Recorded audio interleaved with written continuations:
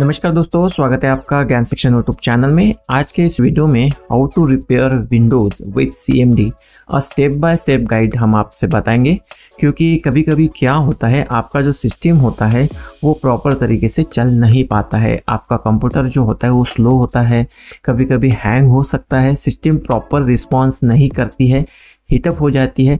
तो इसको हम किस तरह से फिक्स कर सकते हैं, यही कुछ इस वीडियो में देखेंगे। तो चलिए शुरू करते हैं। देखिए, सबसे पहले तो आपको यहाँ पे कमांड प्रॉम्प्ट ओपन कर लेना है। कमांड प्रॉम्प्ट कैसे ओपन करेंगे? सीएमडी लिखेंगे। विंडोज़ आर बटन प्रेस करेंगे सीएमडी लिखेंगे। या इस तरह से नहीं तो यहाँ टाइप है टू सर्च में सीएमडी लिखेंगे और यहाँ पे रन एज अ एडमिनिस्ट्रेटर कर देंगे। तो यहाँ पे आपके सामने यूज़र अकाउंट कंट्रोल का मैसेज आएगा यस कर देंगे। तो ये देखिए, आपका कमांड प्रॉम्प्ट जो है, वो एडमिनिस्ट्रेटर लेवल से ओपन हो चुका है। अब यहाँ पे आपको कुछ कमांड लिखने हैं। वो कमांड मैं आपको स्टेप बाय स्टेप बताऊँगा और वो सभी कमांड डिस्क्रिप्शन बॉक्स में भी दे दूँगा। कमांड बताता हूँ आपको। सबसे पहले हमारी कमांड है S F C scan now तो इसको कॉपी करेंगे। आप कॉपी कर सकते हैं या टाइप भी कर सकते हैं। तो मैं कॉपी करता हूँ। S F C space forward slash scan now ये लिखेंगे और एंटर प्रेस करेंगे। एंटर प्रेस करने के बाद में यहाँ पे थोड़ा प्रोसेस होगा। और यहाँ पे प्रोसेस को थोड़ा समय लग सकता है। डिपेंड करता है ये आपके हार्डवेयर कॉन्फ़िगरेशन के ऊपर। अभी ये वेरिफिकेशन मेरा पाँच से छः परसेंट हो चुका है। ये पूरा हंड्रेड परसेंट होने देते हैं और मिलते हैं हंड्रेड परसेंट होने के बाद में। देखिए दोस्तों, जब तक ये हंड्रेड परसेंट होता है, आप अगर हमारे चैनल पे नए हैं तो प्लीज़ चैनल को सब्सक्राइब करना कंसिडर करिए और साथ ही साथ दोस्तों के साथ में इस वीडियो को शेयर भी करिए। यहाँ पे जो प्रोसेस है वेरिफिकेशन की वो कंप्लीट हो चुकी है और यहाँ पे कोई भी प्रॉब्लम नहीं है।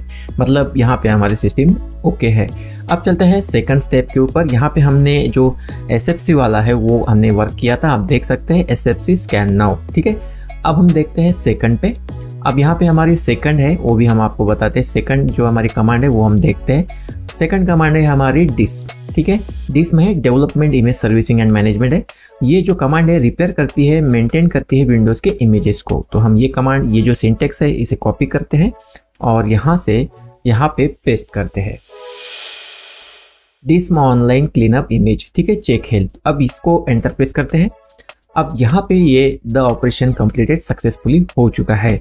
यहाँ पे अगर कोई भी आपको प्रॉब्लम आता है तो आप ये वाला कमांड यूज़ करेंगे। It is online cleanup image restore health यहाँ पे मुझे कोई भी प्रॉब्लम नहीं आया तो मैंने यहाँ पे रिस्टोर हेल्थ वाला कोई भी ये कमांड नहीं चलाया। उसके बाद में हम देखते हैं ऑनलाइन क्लीनअप इमेज अगर ये रिस्टोर हेल्थ काम नहीं करता है तो आपको एक थर्ड वाला यूज़ करना पड़ेगा। थर्ड वाला कौन सा है? ये वाला।